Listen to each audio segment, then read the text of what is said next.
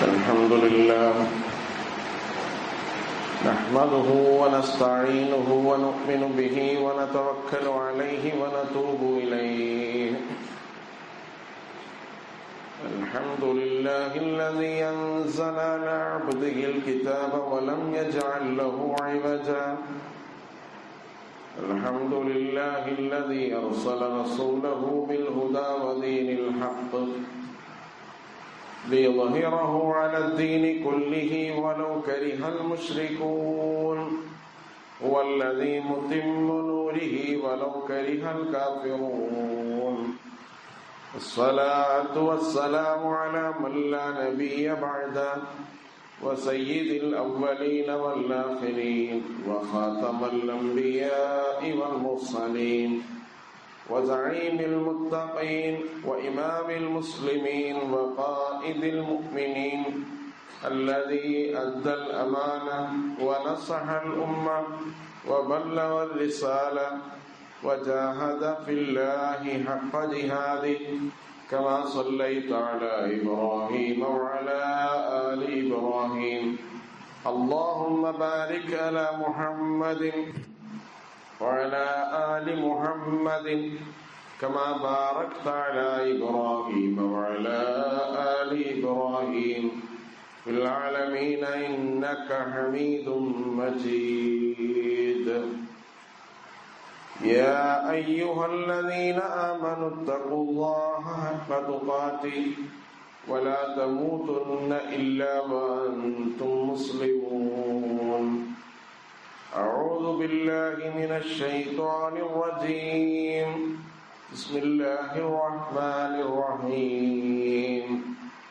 نحن نقص عليك نبأهم بالحق. إنهم فتية آمنوا بربهم. آمنوا بربهم وزدناهم هدى. ورمتنا على قلوبهم إذ قاموا فقالوا ربنا رب السماوات والأرض لن ندعو من دونه إلها لقد قلنا إذا شططا صدق الله العلي العظيم അതന്നെയായ സഹോദര സഹോദരിമാരെ സത്യവിശ്വാസികളെ ജഗന്യന്താവായ അള്ളാഹുവിന്റെ വിധി വിലക്കുകൾ പാലിച്ചുകൊണ്ട് ജീവിക്കണമെന്നും ജീവിതത്തിന്റെ എല്ലാ മേഖലകളും അള്ളാഹുവിന്റെ നിർദ്ദേശങ്ങൾക്കനുസരിച്ച് ക്രമീകരിക്കണമെന്നും നമ്മുടെ അടക്കവും അനക്കവും അള്ളാഹു കാണുന്നുണ്ടെന്ന ബോധത്തോടുകൂടി ജീവിക്കണമെന്നും എന്നോടെന്ന പോലെ നിങ്ങളോട് വസീയത്ത് ചെയ്യുകയാണ് ഉപദേശിക്കുകയാണ്. നരകാവകാശിയും സ്വർഗാവകാശിയും ഒരിക്കലും സമന്മാരാവുകയില്ല. സ്വർഗം നേടിയവരാവുന്നു വിജയിച്ചവർ. വിജയികളുടെ കൂട്ടത്തിൽ ഉൾപ്പെടുത്തി നമ്മെ എല്ലാവരെയും അള്ളാഹു അനുഗ്രഹിക്കുമാറാവും സാധാരണ രീതിയിൽ വെള്ളിയാഴ്ച ജുമാക്ക് മുമ്പായി നമ്മളെല്ലാവരും പാരായണം ചെയ്യുന്ന ഒരു സൂക്തമാണ് സൂറത്തുൽ കഫ് എന്ന് പറയുന്നത്.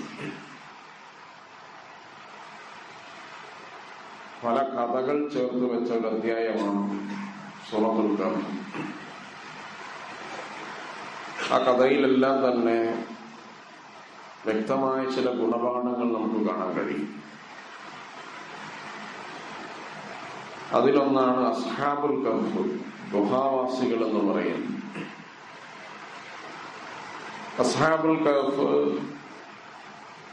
ഇന്നത്തെ ഒരു സാഹചര്യത്തിൽ ചില ഗുണപാഠങ്ങൾ നമുക്കും നൽകുന്നുണ്ട്. ഗുഹാവാസികൾ എന്ന് പറയുന്ന മൂന്ന് നൂറ്റാണ്ടിലധികം ഒരു ഗുഹയിൽ ഉറങ്ങിയ ഒരു കൂട്ടം ചെറുപ്പക്കാരെ കുറിച്ച് ഖുർആൻ നമുക്ക് പറയുന്നു. ഇന്നഹും ഫിത്തിയത്തും ആമന്നു പ്രസിദ്ധനാമം വസിദ്നാഹും ഹുദ. അവരൊരു കൂട്ടം ചെറുപ്പക്കാരായിരുന്നു. അള്ളാഹുവിൽ വിശ്വസിച്ച ആളുകളാണ്. ഹുദ ധാരാളമുള്ള ആളുകളാണ്. അപ്പൊ ഏത് പ്രതിസന്ധിയിലും അതിജയിക്കണമെങ്കിൽ കാലതാമസമെടുക്കും. ഒന്നാമത്തെ ഗുണപാഠം അതാണ്. കാരണം മൂന്ന് നൂറ്റാണ്ട് കഴിഞ്ഞിട്ടാണ് ഉറക്കം അവരെന്ത് ചെയ്തത്? ഉണർന്നു വന്നത്. ഈ മൂന്ന് നൂറ്റാണ്ടും സഹിക്കാനും ക്ഷമിക്കാനും കഴിയുക എന്ന് പറയുന്നതാണ് അല്ലെങ്കിൽ നിരന്തരം നിങ്ങൾ പ്രതികരിച്ചുകൊണ്ടും പറഞ്ഞുകൊണ്ടും ഇരിക്കുക എന്നതാണ് അതിജീവനത്തിന്റെ ഏറ്റവും വലിയ പാഠം എന്ന് പറയുന്നു അസ്ഹാബുൽ കഹഫ് എന്താണ് ചെയ്തത്? രണ്ട് കാര്യം ചെയ്തു. ഒന്ന് ഇത് കാമു അവർ എഴുന്നേറ്റ് നിന്ന് കാര്യങ്ങൾ പറഞ്ഞു. ഭയപ്പെട്ടില്ല പതറിയില്ല മൗനം പാലിച്ചില്ല അല്ലെങ്കിൽ കോംപ്രമൈസ് ചെയ്തില്ല. ഇത് കാമു എന്നതൊരു നിലപാടാണ്. ചെറുത്തു നിൽക്കുക എഴുന്നേറ്റ് നിൽക്കുക ആർജവം പ്രകടിപ്പിക്കുക. ഒന്നാമത്തെ നിലപാട് ഇതാണ് മുഖാപമ ചെറുത്തു നിൽപ്പ് എന്ന് പറയുന്നു. പ്രതിരോധിച്ചു നിർത്തുക. കാര്യങ്ങൾ പറയാൻ വേണ്ടി എഴുന്നേറ്റ് നിൽക്കുക ശബ്ദിക്കുക. രണ്ടാമത്തത് ഫതാലു എഴുന്നേറ്റ് നിൽക്കുക മാത്രമല്ല പറയാനുള്ളത് പറഞ്ഞു. എന്താണോ അവരെ നിലപാടെന്ന് പറഞ്ഞു. ആ നിലപാട് റബ്ബുന റബ്ബുസമാവാത്തി വല്ലാണ് കാരണം ബഹുദൈവ വിശ്വാസം ആധിപത്യം നേടുകയും ബഹുദൈവ വിശ്വാസം ഒരു അധികാരക്രമമായി മാറുകയും ചെയ്ത ഒരു സാഹചര്യത്തിലാണ് ഇവർ ജീവിക്കുന്നത്. അപ്പൊ ആ ജീവിക്കുന്ന ആളുകൾ ബഹുദൈവ വിശ്വാസികളല്ല ഞങ്ങൾ അള്ളാഹുവിൽ മാത്രം വിശ്വസിക്കുന്നവരാണ് എന്ന് പറയൽ പറയാതിരിക്കാം മൗനം പാലിക്കാം ഒളിച്ചു താമസിക്കാം പല രീതിയും സ്വീകരിക്കാം. പക്ഷേ അത് പറയുക എന്ന് പറയുന്നതാണ് അസ്ഹാബുൽ കഫ് ചെയ്ത ഏറ്റവും വലിയ ഒരു കാര്യമായി വിശുദ്ധ ഖുർആൻ എടുത്തു പറയുന്നു. അപ്പോ ഇത് കാമു ഫക്കാലു ഇത് രണ്ടും പ്രധാനപ്പെട്ട കാര്യമാണ്.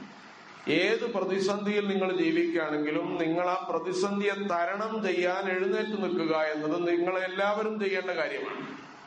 ഏതെങ്കിലും ഒരാളോ മനുഷ്യനോ ചെയ്യേണ്ടതല്ല. രണ്ടാമത്തെ നിങ്ങളുടെ നിലപാട് എന്താണെന്ന് നിങ്ങൾ പറയാൻ ബാധ്യസ്ഥരാണ്. ഫക്കാലു ഇത് രണ്ടും പറഞ്ഞാൽ പിന്നെയുള്ള കാര്യം ആരുടേതാണ് അള്ളാഹുവിൻ്റെതാണ് പിന്നെ അള്ളാഹു നമ്മുടെ കാര്യത്തിൽ എന്ത് തീരുമാനിച്ചോ അത് നടപ്പിലാക്കുക എന്നതാണ് ഏറ്റവും പ്രധാനപ്പെട്ട കാര്യം അപ്പൊ ഈ സൂറത്തുൽ കൗഫില് അസ്ഹാബുൽ കൗഫിന്റെ കാര്യം വിശദീകരിക്കുന്ന സ്ഥലത്ത് അള്ളാഹു സുബാനുഭവത്താല ഇടക്കൊരു കാര്യം പറയുന്നുണ്ട് ولا تقولن لشيء إني فاعل ذلك غدا إلا أن يشاء الله واذكر ربك إذا نسيت وقل عسى أن يهديني ربي لأقرب من هذا رشدا പറഞ്ഞാൽ നാളെ ഒരു കാര്യം ചെയ്യുമെന്ന് നീ പറയരുത് ഇല്ല യശ അള്ളാഹ് അള്ളാഹു ഉദ്ദേശിച്ചാലല്ലാതെ അപ്പൊ അതിന്റെ സന്ദർഭം നമുക്കറിയാം. നബിസല്ലാ അലിസ്വലമയോട് ദുൽഖർണയിനെ കുറിച്ച് മൂസ ഖദർ സംഭവത്തെ കുറിച്ചൊക്കെ ആളുകൾ ചോദിച്ചു. ഇപ്പൊ നബി നാളെ പറഞ്ഞുതരാം എന്ന് പറഞ്ഞു. പക്ഷെ വഹി ഇറങ്ങിയാലല്ലേ പറയാൻ പറ്റുള്ളൂ. അല്ല കുറച്ചേരാണ്ട് പെൻഡിങ്ങിൽ വെച്ചു. കുറച്ചേരം അവിടെ നിൽക്കട്ടെ. എന്നിട്ട് പറഞ്ഞു ഏത് കാര്യം പറയുമ്പോഴും നാളെ പറയും എന്നല്ലെങ്കിൽ നാളെ ഞാനത് ചെയ്യും എന്ന് പറയുമ്പോ നീ അള്ളാഹു ഉദ്ദേശിച്ചാലല്ലാതെ എന്നുണ്ടാവണം. അപ്പൊ സാധാരണ ആളുകൾ മനസ്സിലാക്കിയ ഏത് കാര്യം പറയുമ്പോഴും ഇൻഷാ അല്ല പറഞ്ഞാൽ ഈ പരിപാടി തീർന്നു എന്നാണ്. അത് മാത്രല്ല. ഇൻഷാ അല്ല എന്ന് പറഞ്ഞോടുകൂടി ആ പരിപാടി കഴിഞ്ഞു എന്നാണ്. യഥാർത്ഥത്തിൽ അതിന്റെ അവസാനം എന്താ പറയാണ് ഇതിനേക്കാൾ നല്ലൊരു വഴി അള്ളാഹു കാണിച്ചു തന്നേക്കാം. എന്ന് പറഞ്ഞാൽ നിരാശപ്പെടേണ്ട ആവശ്യമില്ല. അസ്ഹാബുൽ കഹഫിന്റെ കാലം പറഞ്ഞതിന് ശേഷം നമുക്ക് വേണമെങ്കിൽ പലതും പറയാം. കെട്ടകാലമാണ് മോശമാണ് ഫാസിസം വർഗീയ വംശീയ ഫാസിസം ആധിപത്യം നേടിക്കൊണ്ടിരിക്കുന്ന കാലം ഇതൊരു വസ്തുതയാണ്. വസ്തുത മനസ്സിലാവുക എന്നുള്ളത് വളരെ പ്രധാനപ്പെട്ടതാണ്. അതുകൊണ്ട് ഇവിടെ പ്രതീക്ഷയുടെ ഒരു വകുപ്പില്ല നിരാശയിലേക്ക് ആളുകൾക്ക് പോകാൻ പറ്റിയ ഒരു കാലമാണ്. അപ്പൊ അന്ന് പറയാ വേറെ എത്ര നിരാശമുണ്ടായാലും ഇതിനേക്കാൾ നല്ലൊരു വഴി അല്ല കാണിച്ചു തരും. ഇതാണ് ഇൻഷാ അള്ളയുടെ അർത്ഥം എന്ന് പറയുന്നത്.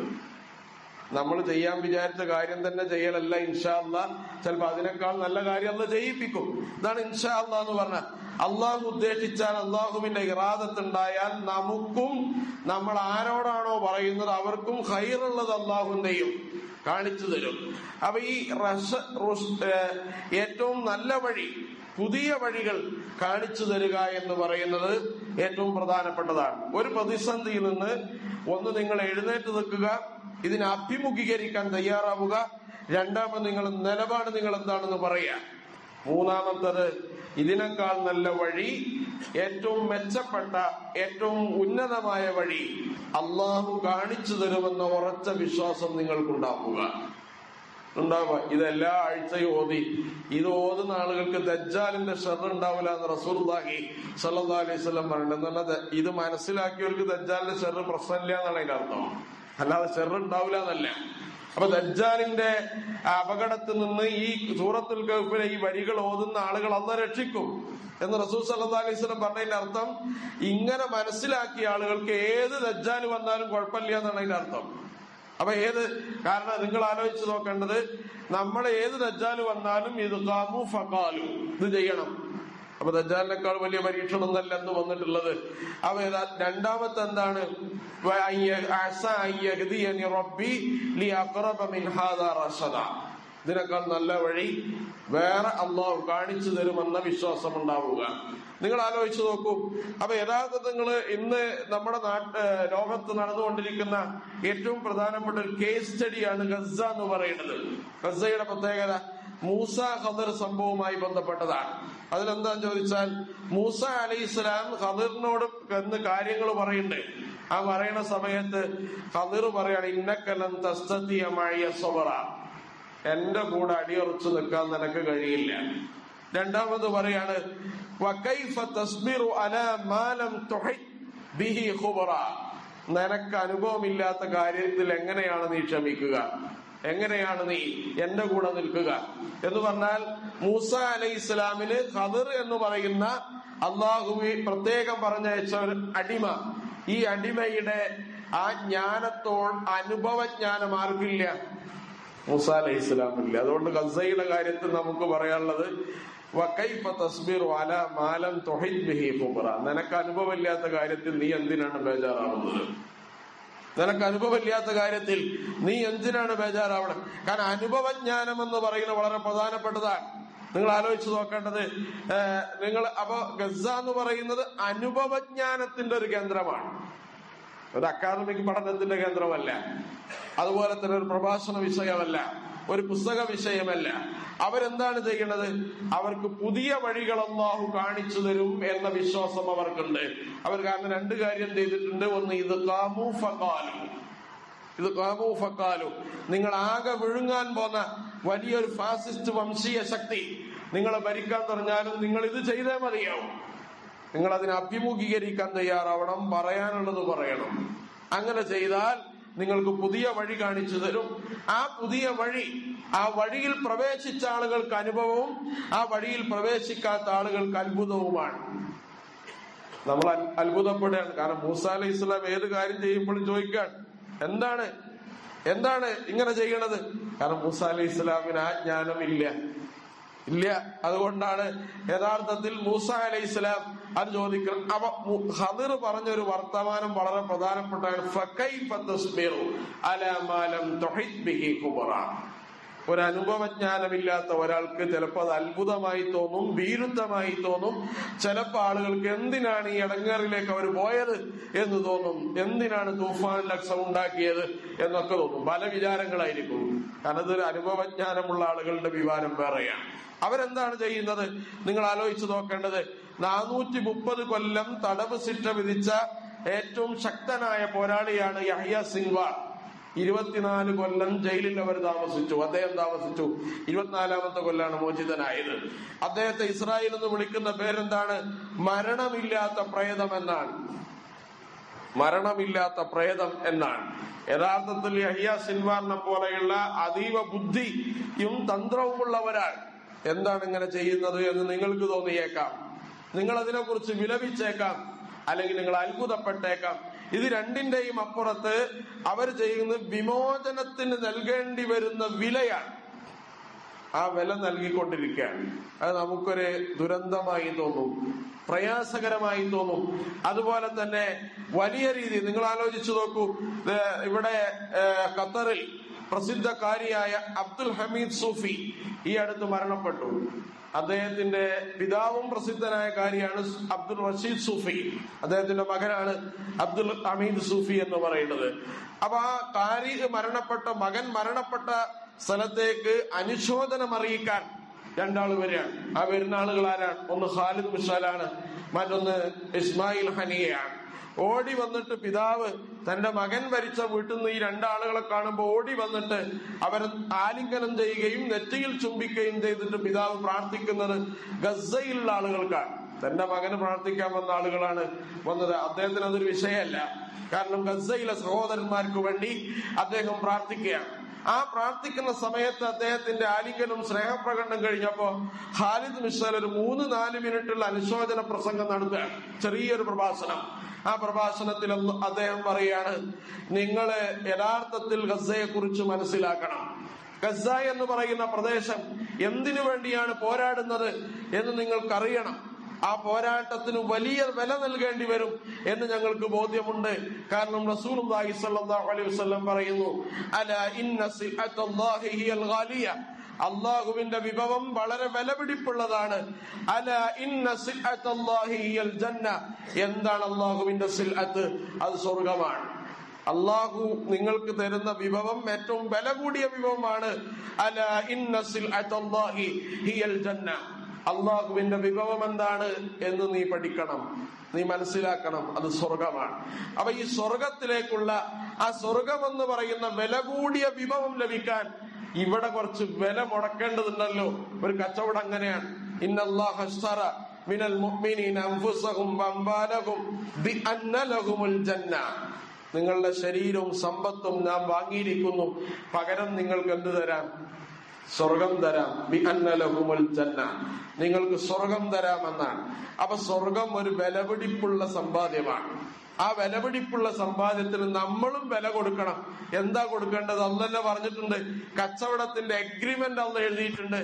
അംഫുസഹും വമ്പാലഹും നിങ്ങളുടെ നഫ്സും നിങ്ങളുടെ മാലും നിങ്ങളുടെ ശരീരവും നിങ്ങളുടെ സമ്പത്തും നിങ്ങൾ എന്ത് ചെല്ലണം അള്ളാഹ് കൊടുത്താൽ അള്ളാഹ് പകരം നൽകുന്ന സിൽഹത്താണ് ചരക്കാണ് വിഭവമാണ് ജന്നത്ത് എന്ന റസൂലുള്ളാഹി സല്ലല്ലാഹു അലൈഹി വസല്ലം. അപ്പൊ യഥാർത്ഥത്തിൽ ഈ ആളുകൾ മനസ്സിലാക്കുന്നത് അവരുടെ അനുഭവജ്ഞാനം എന്ന് പറയുന്നത് വളരെ പ്രധാനപ്പെട്ട ജ്ഞാനമാണ്.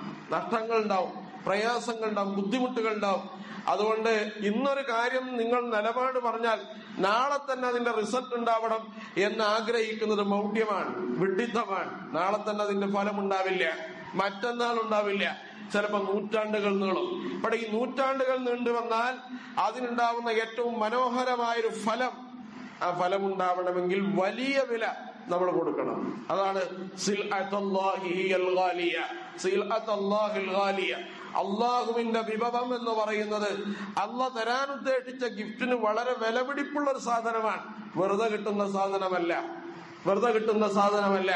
എന്ന് അള്ളാഹു സുബാനുഭവത്താല അവ യഥാർത്ഥത്തിൽ ഈ എല്ലാ വെള്ളിയാഴ്ചയും നിങ്ങൾ പാരായണം ചെയ്യുന്ന നമ്മൾ പുണ്യകരമായ പ്രവൃത്തിയായി മനസ്സിലാക്കുന്ന സൂറത്തുൽ കഫിലെ ഒന്ന് രണ്ട് സംഭവങ്ങൾ നമുക്ക് നൽകുന്ന ഏറ്റവും പ്രധാനപ്പെട്ട ജ്ഞാനം നമ്മുടെ ഈ കാലവുമായി ബന്ധപ്പെട്ട ജ്ഞാനമാണ്. ഈ കാലവുമായി ബന്ധപ്പെട്ട ജ്ഞാനത്തിൽ ഒന്ന് നമുക്കറിയാം. ഈ കാലത്തിൽ നിങ്ങൾ ഇത് ഖാമു ഫഖാലു വൽ ലൻ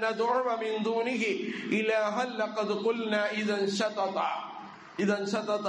രണ്ട് കാര്യങ്ങൾ നിങ്ങൾ ചെയ്യുക. ഏത് ഘട്ടകാലത്തും ഏത് പ്രതിസന്ധിയുള്ള കാലത്തും ഏത് ബുദ്ധിമുട്ടും പ്രയാസമുള്ള കാലത്തും നിങ്ങൾക്ക് നിങ്ങളുടെ ദീനനുസരിച്ച് ജീവിക്കാനും പ്രയാസപ്പെടാനും ബുദ്ധിമുട്ട ബുദ്ധിമുട്ടും പ്രയാസവും ഉണ്ടാവുന്ന കാലമായാലും രണ്ട് കാര്യം നിങ്ങൾ ചെയ്യണം. നിങ്ങൾ ഈ കാലത്ത് അഭിമുഖീകരിക്കാൻ തയ്യാറാവുക. നമ്മുടെ നാട്ടിൽ നിങ്ങൾ ആലോചിച്ച് നോക്കൂ നിങ്ങളുടെ പള്ളികളെല്ലാം കയ്യേറുകയാണ്.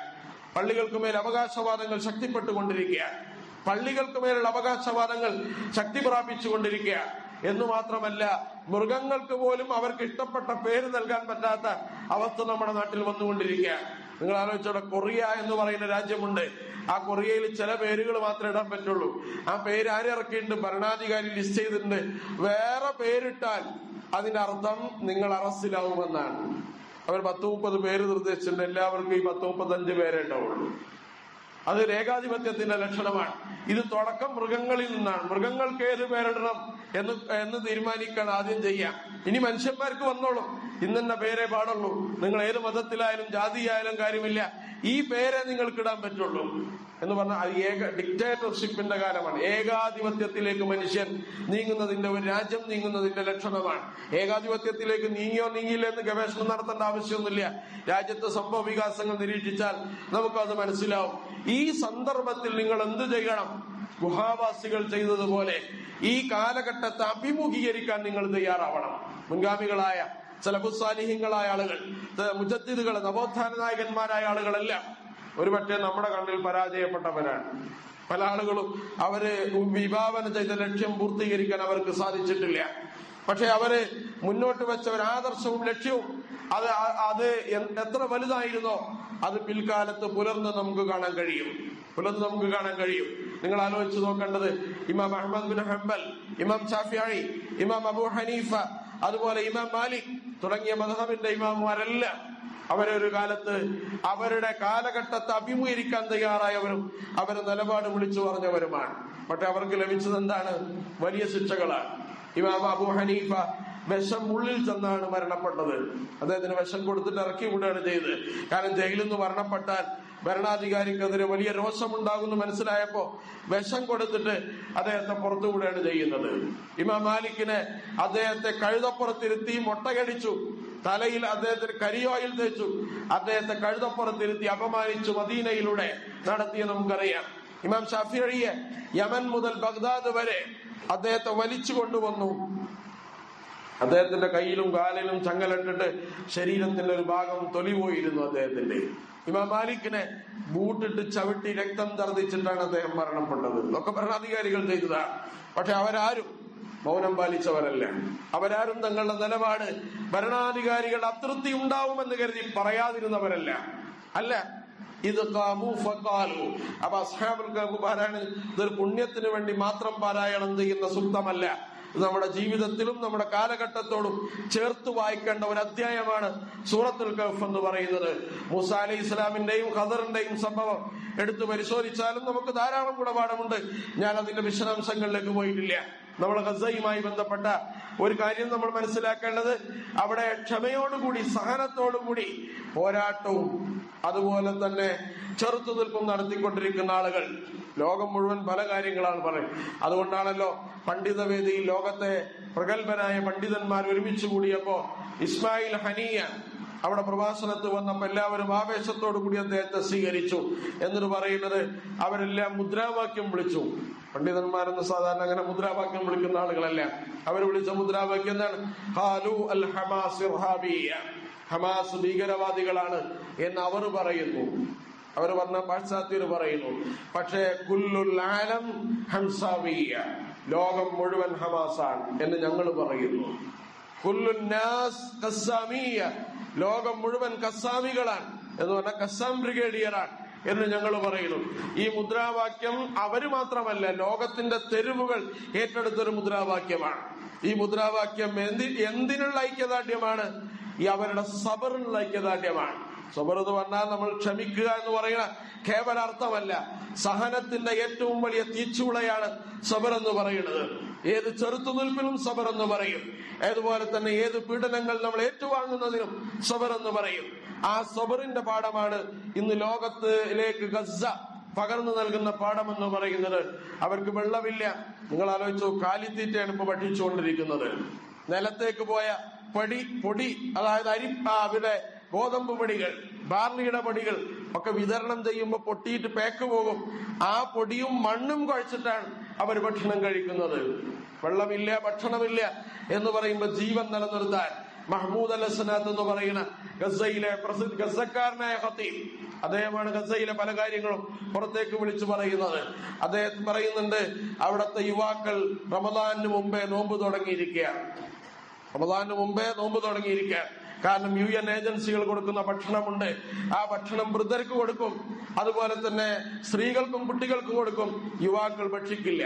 അവർക്ക് നോമ്പ് തുറക്കുമ്പോൾ കിട്ടുന്ന എന്തെങ്കിലും ചെറിയ വിഭവം അവർ ഭക്ഷിക്കും. ഇല്ലെങ്കിൽ അവർക്ക് അടുത്ത നോമ്പും ഈ നോമ്പിന്റെ കൂടെയാണ്. ഈ നോമ്പിന്റെ കൂടെയാണ്. ബദറിലൊക്കെ സഹാബികൾ പല ആളുകളും നോമ്പനുഷ്ഠിച്ചത് ഇങ്ങനെയായിരുന്നു എന്ന് ചരിത്രത്തിൽ നമുക്ക് കാണാൻ കഴിയും. അതുപോലെ തന്നെ നമുക്കറിയാം പല സ്ത്രീകളും തലമുണ്ടനം ചെയ്തിരിക്കുകയാണ്. കാരണം വെള്ളമില്ലാതെ കുളിക്കാൻ കഴിയണില്ല. ഇങ്ങനെ മുടി ജടകുത്തിയത് കൊണ്ട് മുടി വടിച്ചിരിക്കുകയാണ് നൂറുകണക്കിന് സ്ത്രീകൾ ഗസയിൽ ചെയ്തുകൊണ്ടിരിക്കുന്നത്. അപ്പൊ എന്തിനാണ് നിങ്ങൾ ഇങ്ങനെ ചെയ്യുന്നത് എന്ന് നിങ്ങൾ ചോദിക്കും. ഏതുപോലെയാണ്? ഇന്നക്കല്ലം തസ്തത്തി ആലൈക സബറ. മഴിയ സബറ എന്ന് ഖദർ മൂസ അലൈഹി ഇസ്ലാമിനോട് പറഞ്ഞതുപോലെ. പക്ഷെ ഇതിന് വലിയ നമുക്കറിയാം വലിയ ഇൻവെസ്റ്റ്മെന്റ് നമ്മൾ നൽകണം. ആ ഇൻവെസ്റ്റ്മെന്റ് നൽകുന്നതിന്റെ ഫലമാണ് അതിജീവനം എന്ന് പറയുന്നത്. മുന്നൂറ് കൊല്ലം അള്ളാഹു സുബാനഹുവത്താല നിങ്ങൾ ആലോചിച്ച് നോക്കൂ അസാബുൽ കഫിന്റെ സംഭവങ്ങൾ നടന്ന ദേശം എന്ന് പറയുന്നത് ഫലസ്തീനാണ്. ഫലസ്തീനാണ്.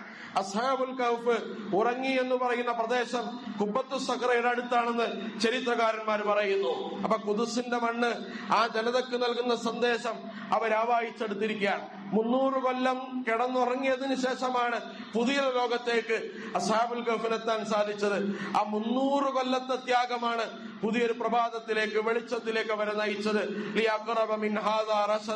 ഇതിനേക്കാൾ നല്ലത് അല്ല അവർക്ക് കൊടുത്തത് അങ്ങനെയാണ്. ആ നല്ലത് കൊടുക്കാൻ വേണ്ടി നൂറ്റാണ്ടുകളുടെ സഹനം എന്ന് പറയുന്നത് ഒരുപക്ഷെ അനുഭവജ്ഞാനമില്ലാത്തവർക്ക് അനുഭവജ്ഞാനമില്ലാത്തവർക്ക്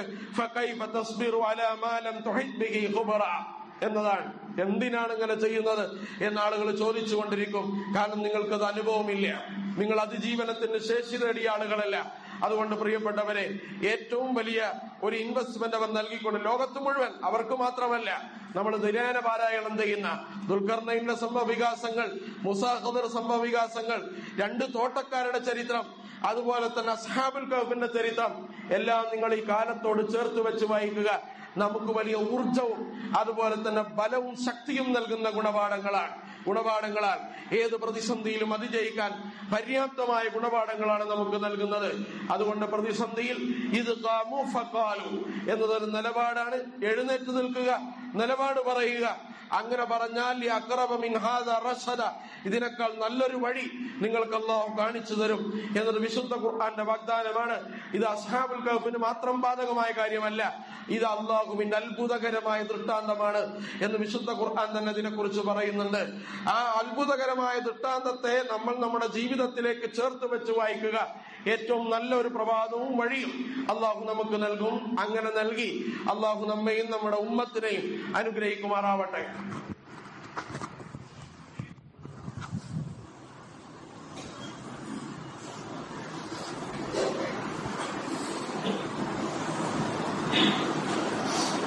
الحمد لله نحمده ونستعينه ونؤمن به ونتوكل عليه ونتوب إليه الصلاة والسلام على من لا نبي بعده وسيد الأولين والآخرين وخاتم الأنبياء والمرسلين.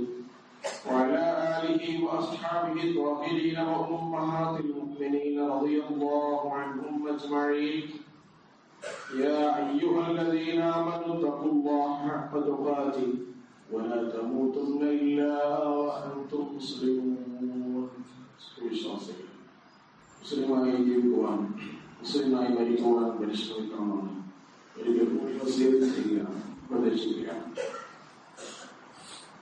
രണ്ട് കാര്യങ്ങൾ നമ്മൾ ശ്രദ്ധയിൽപ്പെടുത്താനുണ്ട് ബഹുമാനായ അബ്ദുൽ നാസർ വഴങ്ങി അദ്ദേഹം വളരെ ഗുരുതരാവസ്ഥയിലാണ്. നമുക്ക് എല്ലാവർക്കും അറിയാം വളരെ പ്രയാസത്തിലാണ് അദ്ദേഹത്തിന് വേണ്ടി പ്രാർത്ഥിക്കാൻ എല്ലാവരോടും വസീയത്ത് ചെയ്തിട്ടുണ്ട്.